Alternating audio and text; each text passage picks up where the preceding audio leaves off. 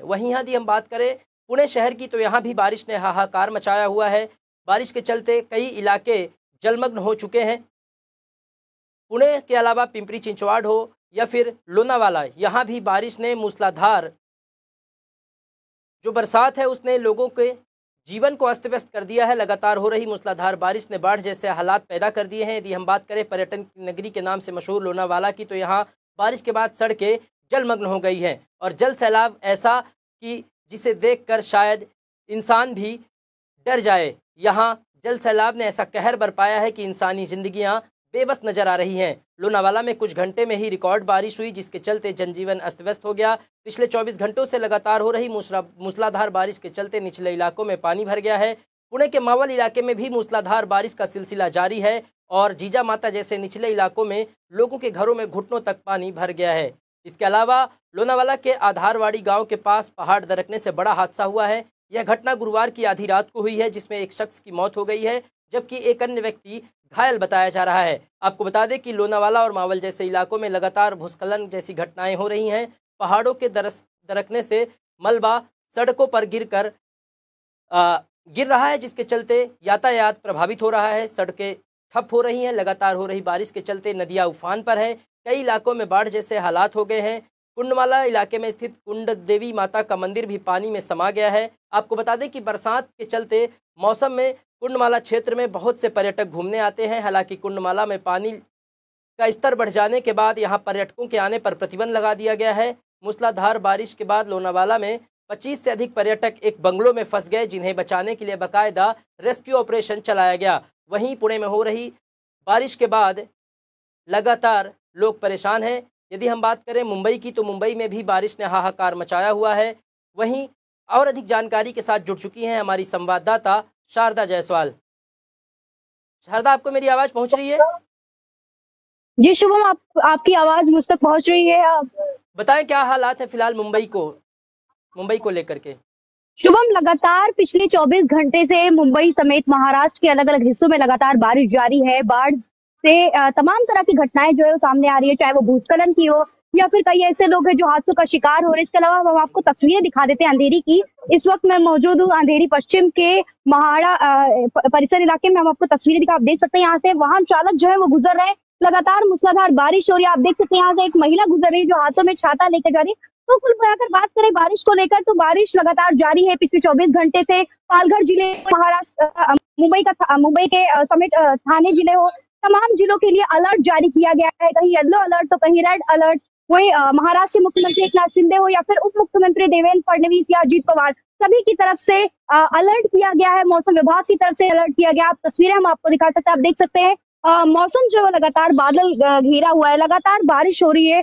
मूसलाधार बारिश के कारण जनजीवन जो है वो पूरी तरह से अस्त व्यस्त हो चुका है। कई जिलों के लिए अलर्ट किया गया। इसके अलावा स्कूलों में पालघर में आज डीएम की तरफ़ से डिस्ट्रिक्ट मजिस्ट्रेट की तरफ़ से आ, स्कूलों को बंद करने का आदेश दिया गया। आज पूरा दिन स्कूल और कॉलेजेस बंद रहे। इसके अलावा बाढ़ जैसे अगर अंधेरी के सब्वे की बात करें तो अंधेरी सब्वे को जो कि जहाँ से तमाम वाहन चालक जो है वो गुजरते हैं। आवाजाही आवागमन होता है। वो वाहन चालक को, को भी रोक लगा दिया गया है। सब्वे जो है वो बंद कर दिया गया है। अब बाढ़ के बाढ़ जैसे हालात हो गए तो कुल मिलाकर बात करें तो मुंबई समेत महाराष्ट्र के अलग अलग हिस्सों में लगातार बारिश जारी है।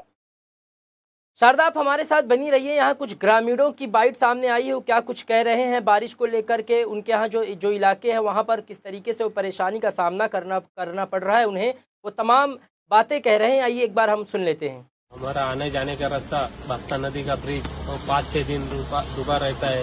फिर आने जाने के लिए रास्ता नहीं, फिर आने जाने का रास्ता काम लिए और स्कूल के लिए जाने के लिए रास्ता भी नहीं रहता है। बस अभी 25 साल हो गए, हम देख रहे हैं कि गाँव का ये जो बादशाह बादशाह नदी के ऊपर का जो पुल है, जो 10-10 दिन पानी के नीचे रहता है, वो पानी के नीचे रहने की वजह से गाँव के जो बच्चे लोग हैं, उनको स्कूल में जाने के लिए तकलीफ़ रहती है, क्योंकि हमारे गाँव के लोगों को बाहर जाने के लिए दूसरा रास्ता अभी तक कोई उपलब्ध नहीं है।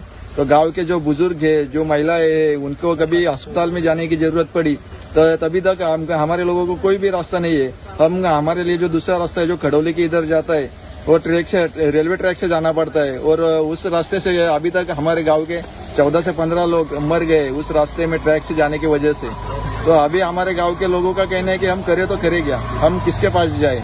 तो हमारे गाँव के लोगों ने अभी सोचा है कि हम सब हमारा बोरी बिस्तर उठा के जाएँगे और कलेक्टर ऑफ़िस में हम रहने के अभी हमारा आंदोलन जो हमें वहाँ से हम जारी करेंगे और हमारे सुविधा के लिए हम सरकार से विनती करते हैं कि हमसे जल्द से जल्द हमारे लिए कोई सुविधा उपलब्ध करे, हमारे लिए कोई पर्याय रास्ता का नियोजन करे। तो ये ठाणे ज़िले के ग्रामीण थे जो सड़क न होने की वजह से बारिश से बेहाल हो चुके हैं। इनका कहना है कि इनके गाँव में कोई पक्की सड़क नहीं है, जिसके चलते इनके आवागमन बाधित हो गया है और अब बाढ़ जैसे हालात होने के चलते इनके गाँव का संपर्क मुख्य शहर से टूट गया है और वो लगातार सरकार और प्रशासन से नई सड़क के निर्माण का मांग मांग मांग कर रहे हैं और इसके अलावा प्रशासन पर उन्होंने लापरवाही का आरोप लगाया है। उनका कहना है कि प्रशासन ने उनकी नहीं सुनी, जिसके चलते उनके गाँव के दर्जनों लोग अपनी जान गंवा चुके हैं।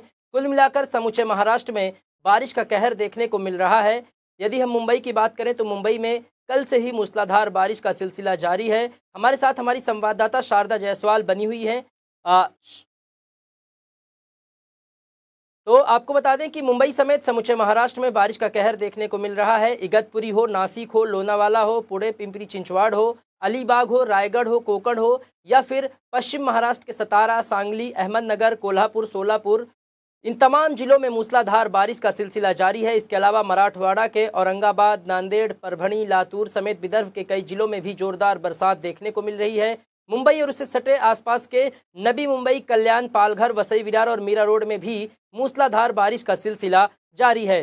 प्रशासन के लोगों से अपील है कि प्रशासन ने लोगों से अपील की है कि पुणे, लोनावाला, नासिक, इगतपुरी, माथेरान, करजत, कसारा, अलीबाग की तरह की तरफ़ छुट्टी मनाने ना जाएँ, यानी पिकनिक मनाने न जाएँ। लोगों को साफ़ हिदायत दी गई है कि वो बिना ज़रूरी काम के पहाड़ी और पर्वतीय इलाकों में जाने से बचें। इसके अलावा झरनों के नीचे भी जाने से रोका जा रहा है क्योंकि पहाड़ से भूस्खलन होने का खतरा बना हुआ है। नदियों और समुद्री किनारों में भी जाने से लोगों को रोका जा रहा है। महाराष्ट्र सरकार ने पुणे, नासिक, रायगढ़, कोंकण और कोल्हापुर में फंसे लोगों को ज़रूरत पड़ने पर एयरलिफ्ट किए जाने की बात कही है। खुद मुख्यमंत्री और उप मुख्यमंत्री बारिश और उससे होने वाले नुकसान पर नज़र बनाए हुए हैं। सभी को कंट्रोल रूम में हाई अलर्ट रहने पर रखा गया है। पुणे, पिंपरी चिंचवाड़ नबी मुंबई और रायगढ़ में स्कूल कॉलेज बंद कर दिए गए हैं। खासकर छोटे बच्चों के स्कूलों को बंद रखने का आदेश जारी हुआ है। तो कुल मिलाकर महाराष्ट्र में बरस रही आफत ने लगातार लोगों को परेशान कर रखा है और फ़िलहाल इस आफत से कोई भी छुटकारा मिलने की उम्मीद नज़र नहीं आ रही है। तो कुल मिलाकर मुंबई और महाराष्ट्र में बारिश का सिलसिला जारी है और अब देखना ही होगा कि आखिर इस आसमान से बरसती आफत से छुटकारा कब मिलता है। फ़िलहाल अभी के लिए इतना ही। बाकी की ताज़ा तरीन खबरों के लिए बने रहिए इन ट्वेंटी न्यूज़ के साथ। मुझे यानी शुभम मिश्रा को पूरी टीम के साथ दीजिए इजाज़त।